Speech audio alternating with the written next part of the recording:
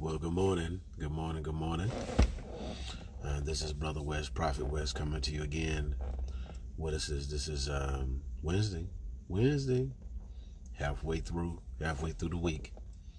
Want to greet you in the name of the Lord. Um, I like to say, get up. I like to say, be encouraged. I like to say that you're gonna make it. I like to say that you're gonna live. You're not gonna die, but you are gonna live. Some of you, you woke up with bad news and this news is so bad that it's taking so much energy from you. It's taking so much life from you just hearing the news. But I want to let you know after after a while by and by, you still gonna make it.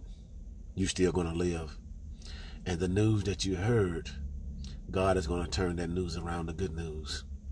In bad times, God is gonna give you and send you good news.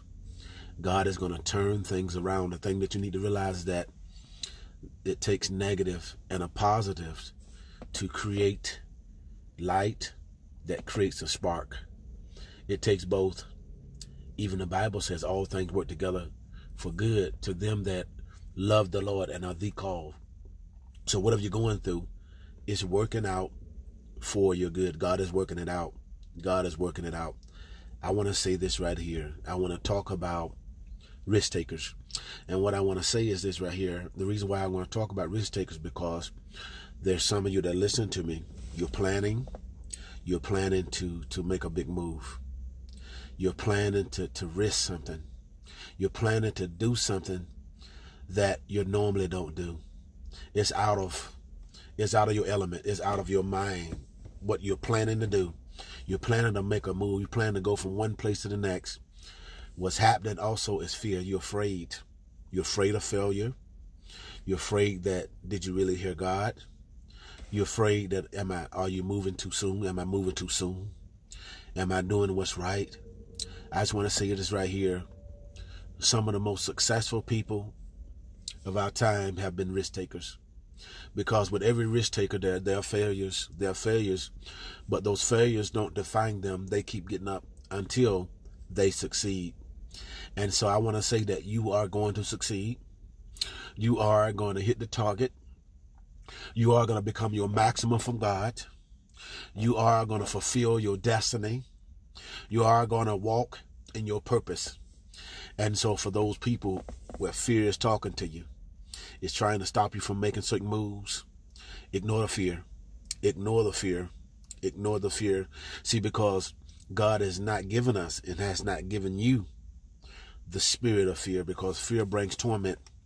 If things are tormenting you, keep tormenting you, keep tormenting you, keep tormenting you, then that's not God.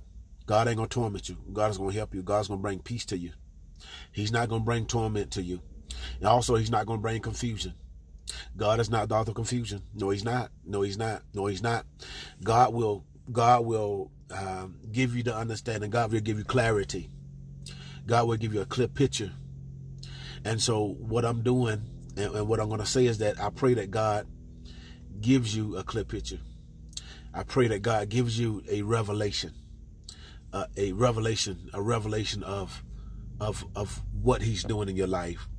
I pray that God gives you a um, open eye experience where you can see clearly the pathway that He's taking you down, that you might find life and that it might encourage your heart.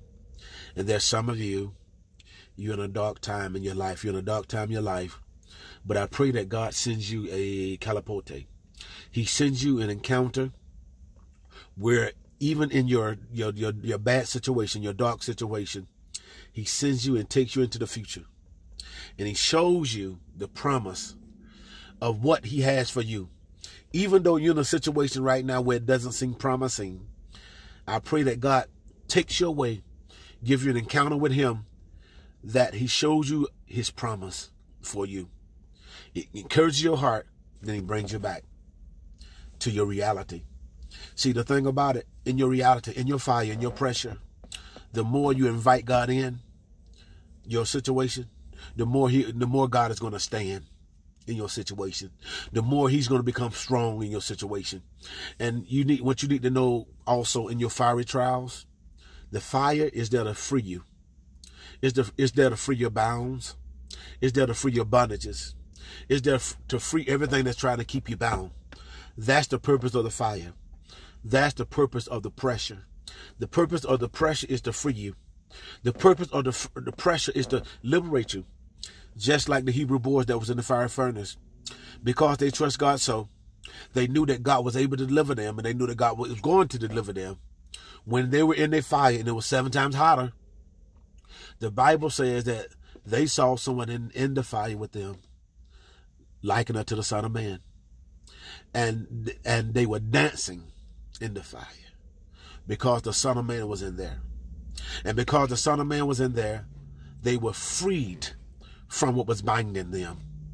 When you invite God in there, when you invite, invite God in your pressure, when you invite God in your hurt and your pain and all of that, His presence will cause what's burning you, what's afflicting you, to liberate you and cause you to become free in the midst of your warfare. Even David said, and I'm close after I'm gonna close after this. While I'm in the presence of my enemy, while danger's around, God, you prepared a table before me where I can eat, where I can relax, and where I can dine. And so while you're surrounded by trouble, while you're surrounded by despair, rejection, enemies, people trying to get at you, people trying to hurt you, People trying to pull you down, backbite on you, talk about you.